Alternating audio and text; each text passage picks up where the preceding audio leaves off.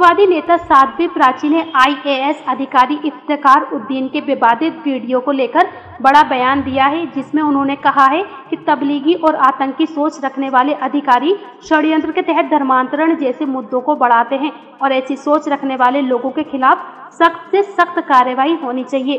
चंदोसी स्थित ठाकुर मुकेश सोम के आवास पर मीडिया से मुखातिब होते हुए साध्वी प्राची ने कहा कि इफ्तिकार उद्दीन जैसे पढ़े लिखे लोग तालिबानी और तबलीगी सोच को अधिक बढ़ावा देते हैं, जबकि कम पढ़े लिखे लोग भेड़ चाल की तरह होते हैं। उन्होंने कहा कि ऐसे अधिकारी के खिलाफ सख्त कार्यवाही होनी चाहिए। वहीं साध्वी प्राची सपा सांसद डॉक्टर बर्ग के मोब लीचिंग वाले बयान पर भड़क उठी। कहा कि जब हिंदुओं के साथ मोब लीचिंग की घटनाएँ हो रही थी तब वे कहाँ थे? उन्होंने सांसद को बेशरम तक कह डाला।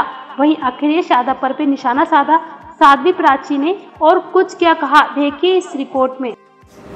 उनकी संदिग्ध मौत हुई है। तो इसको लेकर के कुछ लोग आरोप लगा रहे हैं कि ये कि ये इस तरीके से हत्या का मामला है।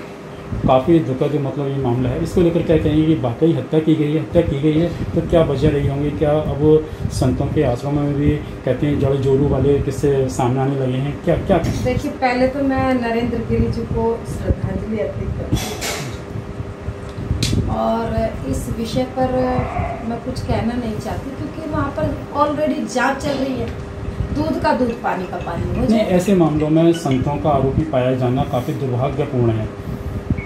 हाँ ये तो है। आनंद गिरी जी ये निश्चित रूप से क्योंकि संत तो समाज को दिशा देने के लिए राष्ट्र का भला करने के लिए जनता का उपकार जनता को दिशा देने के लिए होते हैं। ये तो निश्चित है लेकिन सबकी अपनी अपनी मानसिकता है। अखिलेश जी ये कह रहे हैं उत्तर प्रदेश में कि बीजेपी सरकार एक तरफ़ तो अपराधियों को उनकी बात करती है कि सब अपराध खत्म कर रहे हैं ठीक है?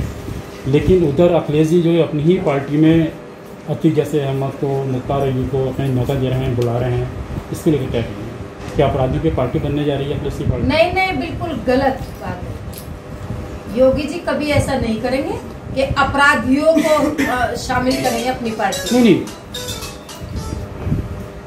मेरा सवाल ये था कि जो अखिलेश यादव हैं वो लगातार ये कह रहे हैं कि प्रदेश में आपका बोलबाला है।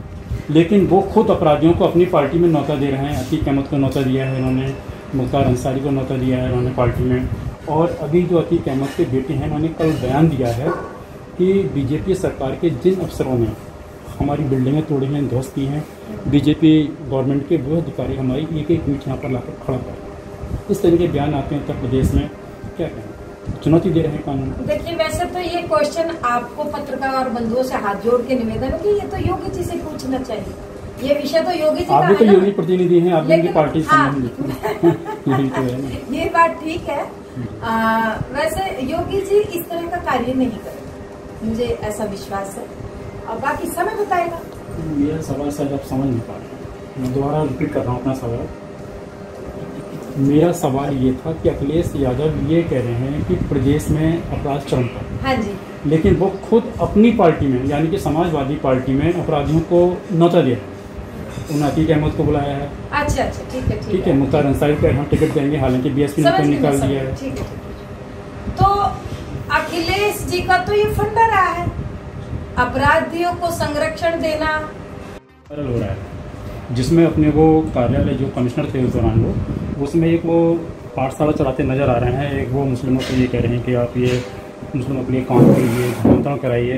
तो इसको लेकर के क्या कहेंगे आप, क्या वाकई में जो पढ़े लिखे लोग हैं, अधिकारी लोग हैं, मुस्लिम अधिकारी हैं, वो भी ये धर्मांतरण का इस तरीके के वो रैकेट चला रहे हैं इस तरीके से, क्या कार्रवाई चाहिए इसमें देखिए, ये जो इस तरह की सोच है, इस तरह का जो विचार है,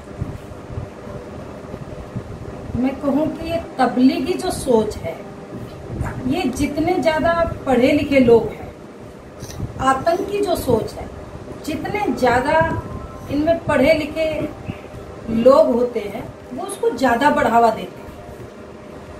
जो अनपढ़ लोग होते हैं, वो तो भोले भाले होते हैं। उनको तो खाली भेड़ की तरह से बढ़ाया जाता है, उस रास्ते पर, चलाया जाता है। तो इनकी सोची समझी साजिश और एक बहुत बड़ा षडयंत्र है। आपके सामने तो मीडिया के अभी आया है।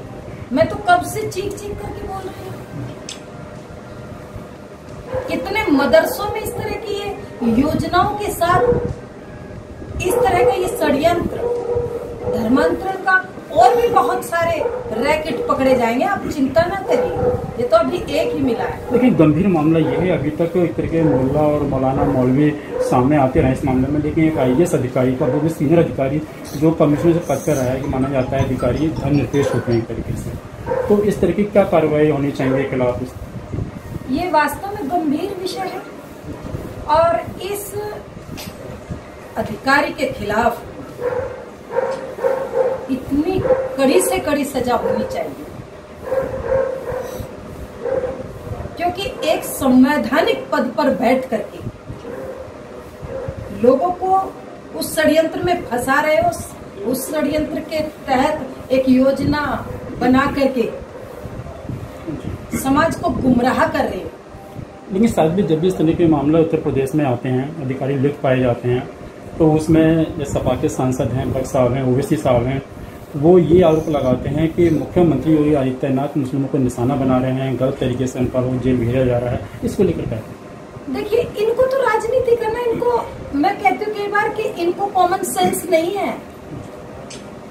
ये देश और प्रदेश का भला नहीं कर सकते ये लोग। ये खाली अपने छोटी सी कुर्सी के लिए ये देश की इज़्ज़त को दाव पर रख सकते हैं।